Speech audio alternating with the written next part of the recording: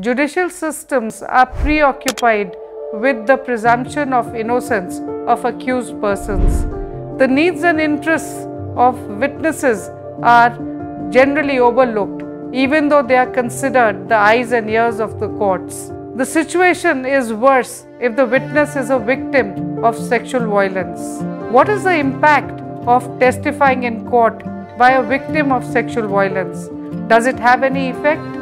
On this aspect, let us hear Dr. Achal Bhagat, a mental health expert in Delhi who helped conceptualize and set up the vulnerable witness deposition complexes as well as was a valuable resource person in the trainings conducted in Delhi between 2012 and 2017. It is important to remember that a vulnerable witness may be re traumatized during the judicial process. So, the person needs to be protected so that they are not re traumatized. Why should the person not be allowed to be re traumatized? Because re trauma means that the person relives the experience of violence. So, it affects them psychologically, it causes them extreme anxiety, it may make them numb, it may make them uh, not remember things accurately. What might cause re traumatization? Any reminders that the person might get of the past when they were traumatized through the cues in the judicial process. And these cues could be simple. These could, cues could be the voice of the alleged perpetrator, the color of the shirt of the alleged perpetrator, the smells around the process, the way the questions are asked, the person might be pushed back into the same experience of trauma and, and they might relive the trauma as if it was happening to them just right then during the judicial process. Now, one, it is not helpful for the judicial process to re traumatize somebody. The very fact of re traumatization means that the person is being harmed and it may cause disability. Two, it causes a lack of substantive equality in the process because if the person is compromised because of their anxiety, because of their numbness, because of their inaccuracy in the memory, the judicial process itself is compromised because it's not equal in the same way. So the access to justice becomes an issue. Re-traumatization is not only for preventing psychological disturbance to the vulnerable witness, it is for ensuring access to justice. I would now like to share with you a real time detail of what a victim of sexual violence actually felt and faced when she had to testify in court about the incident. You must have all heard about Suzette Jordan, a victim of gang rape in Park Street, Kolkata, who was severely traumatized, who faced tremendous amount of victim blaming, ostracization and severe difficulties right from the stage when she tried to report the crime during investigation, during medical examination, and her later experiences in the courtroom. Suzette Jordan was a resource person for us in our trainings in Delhi from 2012. She agreed to be so as she had decided to be vocal and open about the crime and the difficulties that she had faced. Suzette Jordan also permitted us in Delhi to use what she had said during the trainings. Unfortunately, we lost Suzette Jordan to meningitis and we cannot get her to come and speak before you about what was her actual experiences. Here is a short excerpt of what Suzette Jordan had to say about her experiences while testifying in court. In the courtroom, the complainant will always be one or maybe two, two women. But if it's a gang rape, there'll be like, if it's five or six guys in a gang rape, then there are six lawyers. And their six lawyers have six assistants. And their six assistants have junior assistants. But the complainant has just two lawyers, max three. Two de factos, a public prosecutor, the the the very fact that she has to go in there it's an in camera trial it has its advantages it has its disadvantages as well the advantage is it keeps you protected from public and more humiliation from the the prejudiced patriarchal kind of people but the disadvantages is the victim has nobody inside the courtroom except her public prosecutor, who's really not her family friend. She's a professional doing her job. So it should not be the victim because even in my case, I had I was told I could put a petition if I wanted somebody to to be a support for me inside the courtroom. But there are thousands of girls, little girls, who are being raped, who are in the courtroom, and they don't they don't know that they can avail of that facility. So no no one will tell them because I was told this. If I was told this, that if if if I get a lawyer, then I have to put a petition, the case gets prolonged, dates keep changing. Nobody wants that. So they don't even know that. So this order should come from the court. This facility should be given to the victim. Do you, would you like a support system? Would you like your mother? Would you like your father? Would you like an extra person in that in-camera trial so that you feel safe? You expect a victim to stand there having the accused and then to narrate her ordeal and then be questioned and re-questioned. That Firstly, the rape, a rape is the murder of the soul. All these re rapes completely murder the very mind, the little sanity that the victim has left.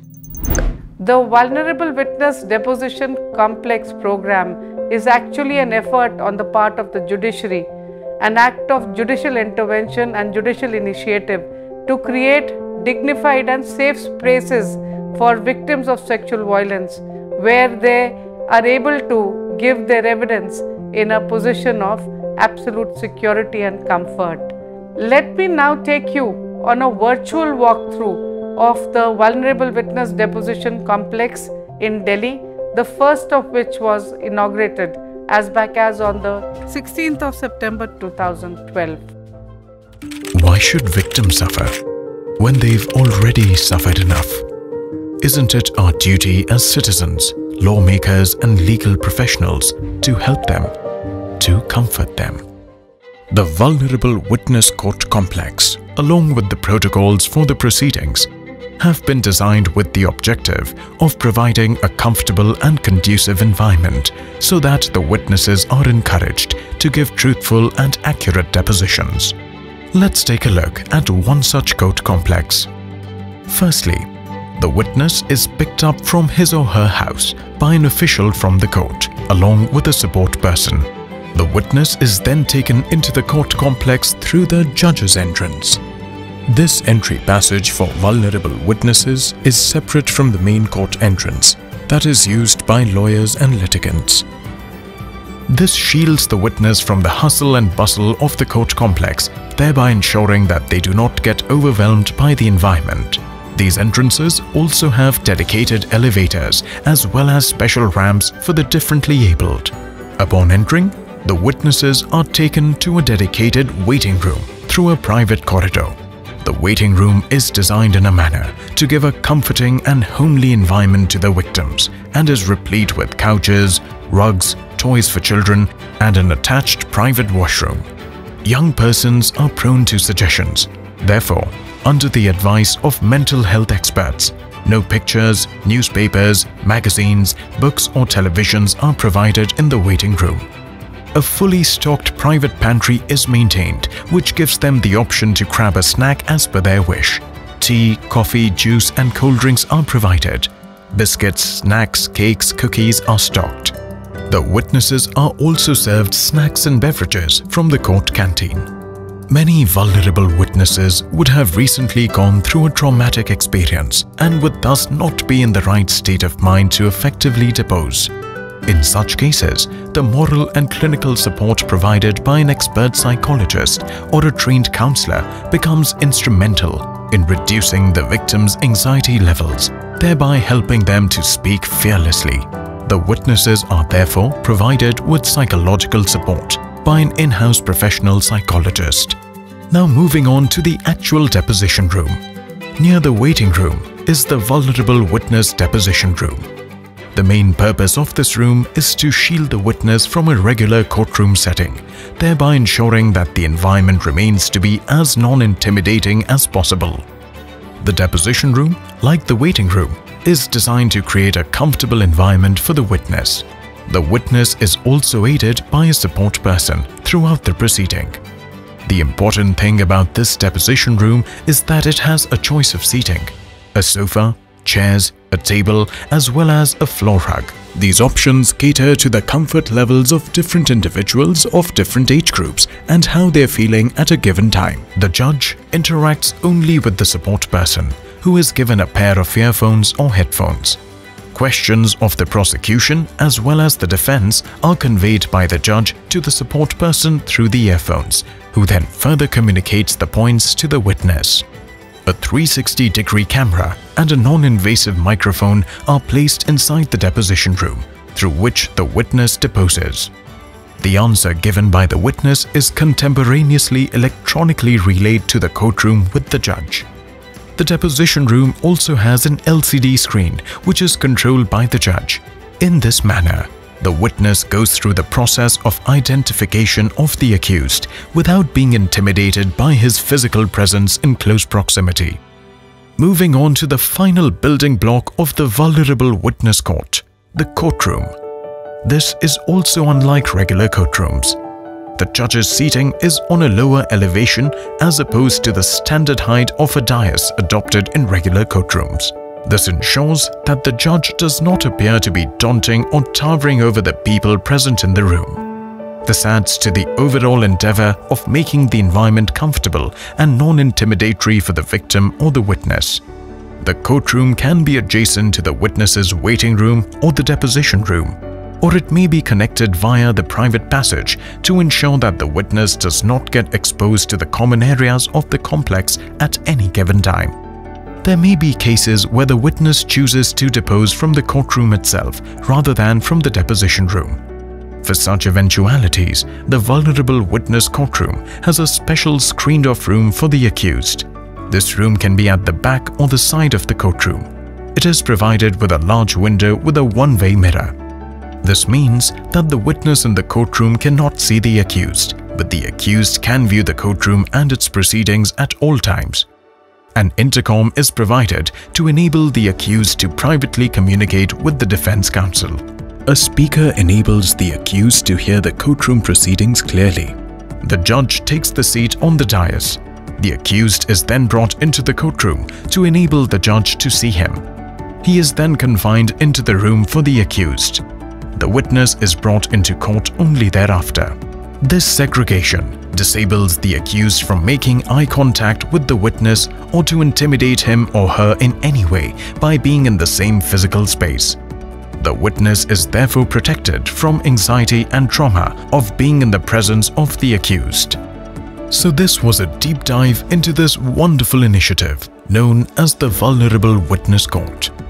Now let's understand the real-world impacts of this initiative from some honorable judges. Has the use of this facility made a difference? To start with, we have Dr. Aditi Chaudhary, Registrar Vigilance High Court of Delhi, who will break down the multifaceted benefits of this initiative. Transposing any person to a strange environment and expecting them to behave normally is like expecting the near impossible. This is more so in the case of vulnerable witnesses exposed to a courtroom environment how can the journey of a vulnerable witness be eased while navigating a trial?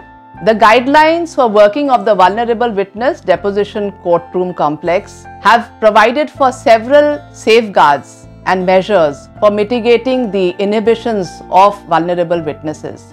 Let us hear from Mr. Gaurav Rao, Additional Sessions Judge presiding over a POCSO court in Delhi about the impact of the working of the pre-visit the witness already being vulnerable on account of age, social circumstances the crime witness or suffered, it is extremely essential to have a general interaction with the vulnerable witness to ensure a fair trial. Pre-visit is crucial for the purpose of orienting the witness with the physical environment of the court and reassuring the witness that her dignity and safety stands ensured. The pre-visit is absolutely essential to make the witness understand the process and the purpose of the proceedings. Such interaction enables the judge to ascertain the extent of psychological trauma, evaluate whether the witness is under threat, influence or pressure. It provides the necessary information to the judge to pass orders for remedial steps say protection, prohibitory orders against the opposite party or counseling the witness. Legally trained persons also are inhibited by the black and white formal atmosphere of a courtroom complex. Presence of so many strangers inhibits witnesses from frankly deposing about their horrific experiences. The existing procedures recognized by law includes in-camera trial for safeguarding the witnesses. Let us find out from the trial court judges whether the in-camera trial is a sufficient protection for vulnerable witnesses. Before setting up of the vulnerable witness deposition complex, the statement of vulnerable witnesses was being recorded in a court in in-camera proceedings. Even in in-camera proceedings, the victims are intimidated by the presence of the accused, defense counsel and the formality of the court. So, the victim was not able to depose freely and fearlessly in a court atmosphere, affecting her ability to give the best evidence.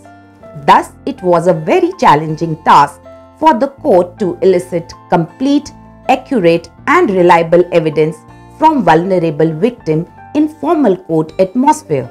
The vulnerable witness deposition complex has provided a solution to this problem. I have experienced that when deposition of the child victim is recorded in the vulnerable witness deposition room, the victims depose with ease without secondary victimization. The witness's recount is better and fearless. In my view, establishment of such deposition rooms is the need of the hour and such facility is a must in every court complex to ensure fair trial. We have had the experience of using the vulnerable witness deposition courtrooms since 16 September 2012 in the Karkardooma court complex. Such court facilities have been made available in every district and complex in Delhi. Have they really made a difference? Let us hear about the important aspects about the use of such courtroom facilities from the judges themselves who are working these courts. What is the experience of a witness in a case involving sexual violence from a close relative, partner, friend? Let's find out.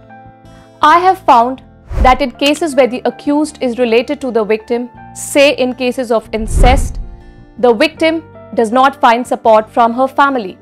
It has been my observation that such victims are under coercion and threat to not support the case of the prosecution, often to protect the honor of the family or source of livelihood.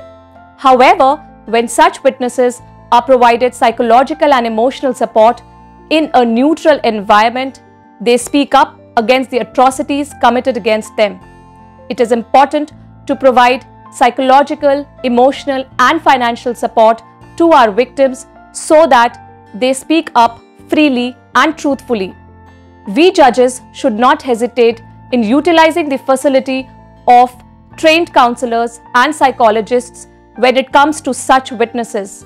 I have done my best to comply with the guidelines for interaction with the victims and have seen excellent outcomes.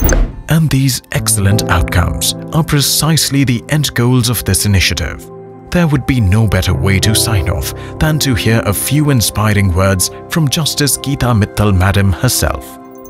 I realize that it may not be possible for many of you in remote parts of India to come and physically see what we have created in Delhi.